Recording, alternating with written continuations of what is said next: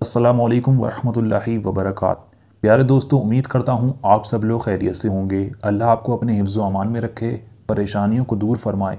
किसी की ज़ात का मोहताज ना करे, अपनी ज़ात का मोहताज रखे। आमीन, अल्लाहुम्मा आमीन। प्यारे दोस्तों, ये रजब का महीना चल रहा है और ये रजब का महीना इतनी ज़्यादा रहमतों और बरकतों वाला महीना है। और इस महीने में अब जो जुमा आने वाला है, ये रजब का दूसरा जुमा है। यानी कि जिस दिन ये जुमा का दिन पड़ेगा, उस दिन चौदह रजब का दिन होगा, उस दिन चौदह रजब होगा। यानी कि चौदह रजब और छब्बीस तारीख, यानी छब्बीस जनवरी। तो आज के दिन किया जाने वाला मैं एक ऐसा वजीफ़ा आपको बताने वाला हूँ, जिस वजीफ़े को लोग अगर, जो लोग इस वजीफ़े की ताकत के बारे में, फजीलत के बारे में जानते हैं तो वो साल भर इस वजीफ़े का पढ़ने का और इस दिन का इंतज़ार करते हैं कि हमें ये दिन नसीब हो और हम इस वजीफ़े को करने के बाद अपनी ज़िंदगी को बदल सकें। जो अब तक आपका कोई काम, जो आपका नहीं बना या जो आज तक नहीं हुआ, वो आप इस वजीफ़े के ज़रिए कर सकते हैं। वजीफ़ा बहुत ज़्यादा ताकतवर है। चौदह रजब के दिन, जुमे के दिन, यानी फ्राइडे के दिन, छब्बीस जनवरी के दिन 26 जनवरी 2024 के दिन आपको इस वजीफ़े को करना होगा। एक बार इस वजीफ़े को आपको करना है और एक बार के करने से ही आपकी हर दुआ एक घंटे के अंदर अंदर कबूल होगी और आप इस वजीफ़े को करने के बाद जिस काम के लिए भी दुआ करेंगे इन आपका वो भी बड़ा काम फ़ौर बन जाएगा। और आप जो कुछ भी मांगते हैं इस वजीफ़े को करने के बाद, अल्लाह से इन अल्लाह आपको वो ज़रूर देगा, आपको वो ज़रूर मिलेगा। वजीफ़ा बहुत ज़्यादा ताकतवर है। एक ऐसी दुआ जिसको अगर आप सिर्फ़ 21 बार जुमा के दिन पढ़ लेते हैं तो आप अपनी ज़िंदगी को बदल लेंगे। किस्मत वाला ही होगा जो इस दिन इस वजीफ़े को करेगा। तो आइए दोस्तों जान लेते हैं आपको इस वजीफ़े को किस तरह से करना होगा। देखिए, जुमेरात यानी थर्सडे वाले दिन से जो है, मगरिब की नमाज़ के बाद से और जुमे के दिन, फ्राइडे के दिन, मगरिब की नमाज़ के टाइम तक मगरिब की नमाज़ से पहले पहले, ये वक्त जो होगा, ये जुमे का लग जाएगा, ये जुमे का वक्त होगा। यानी कि जुमेरात की जो दिन होगा, उस दिन रात के वक्त से और जुमे की रात के वक्त से पहले पहले आपको इस वजीफ़े को करना होगा, यानी कि जुमे वाले दिन, पूरे दिन किसी भी वक्त आप इस वजीफ़े को कर सकते हैं। इस वजीफ़े को करने का मैंने आपको वक्त बता दिया और किसी दिन नहीं करना है, सिर्फ़ आपको जुमे, यानी फ्राइडे वाले दिन ही इस वजीफ़े को करना है। इस वजीफ़े को करने के लिए आपको करना कुछ यूँ होगा, सबसे पहली बात इसकी यह है कि इसको करते वक्त आपको किसी से बात नहीं करनी है। बिना किसी से बात किए खामोशी के साथ आप इस वजीफ़े को करेंगे और आप जब इस वजीफ़े को करें तो उस वक्त आपका पाक साफ़ होना बहुत ज़रूरी है। पाक साफ़ हालत में नहा धोकर आप इस वजीफ़े को करें।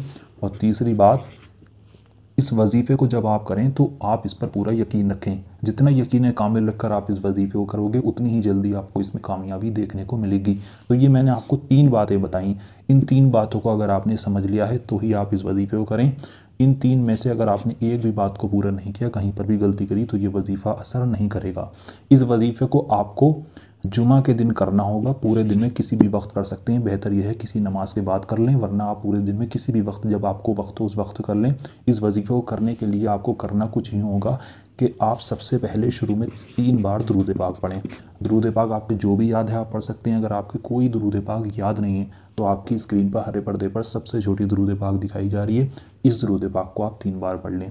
जब आप इस दरूद पाक को तीन बार पढ़ लेंगे, उसके बाद हम आपको यहाँ पर ये जो आयत करीमा लिख कर दिखाऊँगा, इसको आपको इक्कीस बार पढ़ना होगा। मैं आपको यहाँ पर हिंदी में लिख कर दिखा देता हूँ, ताकि आप इसको देखकर आसानी के साथ पढ़ सकें। ये लिखा है, देखिए, पहले मैं लिख देता हूँ, उसके बाद मैं आपको इसको पढ़कर बता दूँगा कि आपको इसको पढ़ना किस तरह से होगा। ये लिखा है, सलामुन कौलम। सलामुन कौलम मिन रब्बिर। मिन रब्बिर रहीम। ये आयत करीमा है, इतनी ही आयत करीमा आपको सिर्फ़ 21 बार पढ़नी है। पढ़नी किस तरह से, इसको समझ लें। तीन बार आपने शुरू में दरूद पाक पढ़ी, फिर आप पढ़ें सलामुन कौलम मिन रब्बिर रहीम। ये हो गई एक बार। फिर इसको पढ़ें सलामुन कौलम मिन रब्बिर रहीम। ये हो गई दो बार। फिर पढ़ें सलामुन कौलम मिन रब्बिर रहीम। ये हो गई तीन बार। इसी तरह से आपको इसको 21 दफ़ा पढ़ना है 21 बार पढ़ना है। जब आप इस आयत करीमा को 21 बार पढ़ लें, उसके बाद आप आखिर में फिर से तीन बार दरूद पाक पढ़ दें। वही दरूद पाक जो आपने शुरू में पढ़ी थी, आपकी स्क्रीन पर दिखाई जा रही है। आपका वजीफ़ा यहाँ पर पूरा हो गया। इतना करने के बाद आप अपने दोनों हाथों को उठाएँ। अल्लाह से अपने उस मकसद के लिए दुआ करें, जिस मकसद के लिए आपने इस वजीफ़े को किया है। अगर आपकी कोई दुआ है, आप चाहते हैं मेरी वो दुआ, मेरी वो हाजत पूरी हो जाए, कबूल हो जाए तो आप उसके लिए दुआ करें। इन आपकी वो हाजत, आपकी वो दुआ ज़रूर पूरी होगी।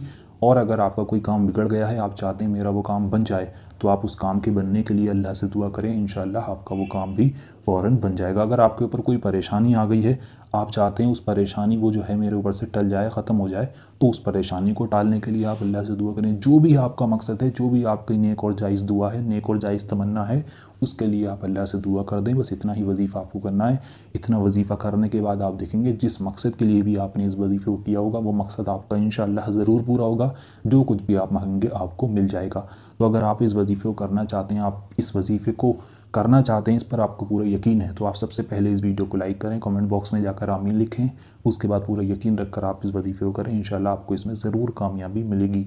चलिए मिलते हैं एक और नई वीडियो के साथ। अल्लाह हाफिज़।